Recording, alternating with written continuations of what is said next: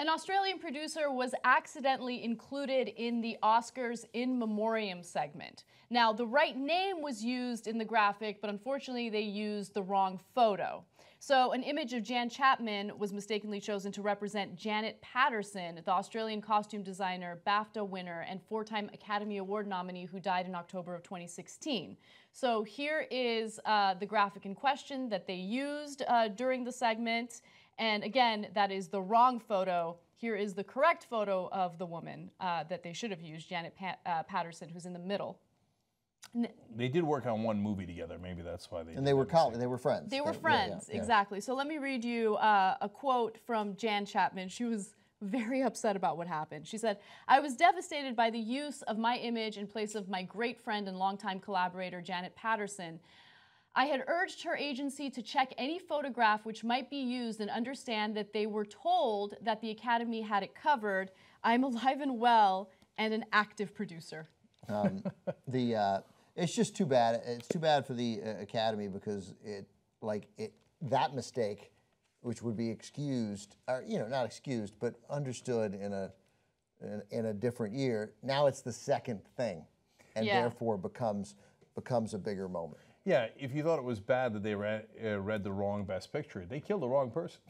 so. I mean, we, we at TCM we do a we do an in memoriam, and it's beautiful and it's incredibly well produced every year. And I would say it's better than the academies. We we are not limited by time, so we can mm-hmm. go a little longer. It's not that long, but it's beautiful. They included my father in, in, back in 2000, the one in 2015 for people who died in 2014.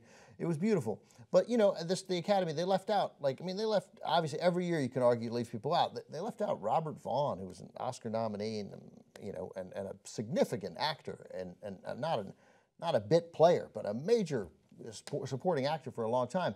It just feels like there's no way they had a conversation where they decided to leave Robert Vaughn off. It seems like they forgot him.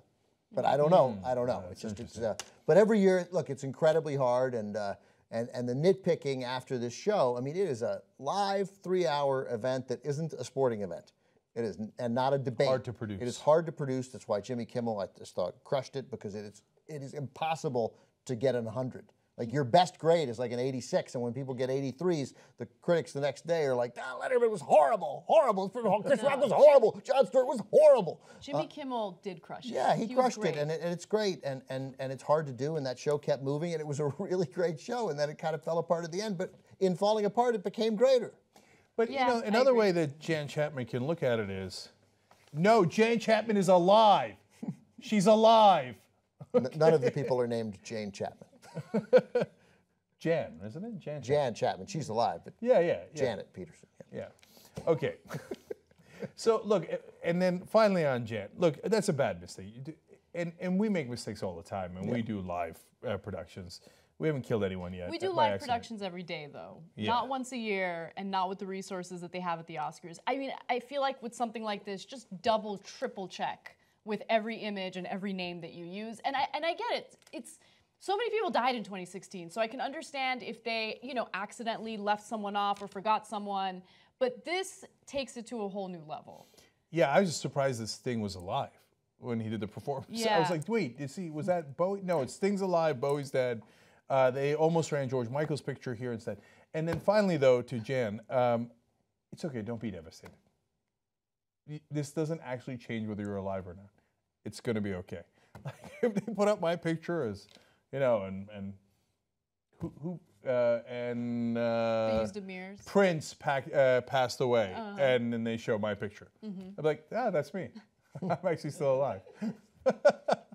yeah. It's gonna be okay. Yeah, yeah, it's gonna. It's again, it's gonna be okay. I mean, not for Janet uh, Peterson, but for yeah. everybody else. J- Janet has actually passed away. that's right. But, but uh, but for her friend, the good news is you're still alive. Yeah, and an active producer. That's what she's more worried about. yeah, that's right. By the way, Jan, believe me, believe me, this is going to help your more career more than anything else. I- you can help hire investigative reporters that'll chase down stories no one else will. Be the media. TYTnetwork.com slash go.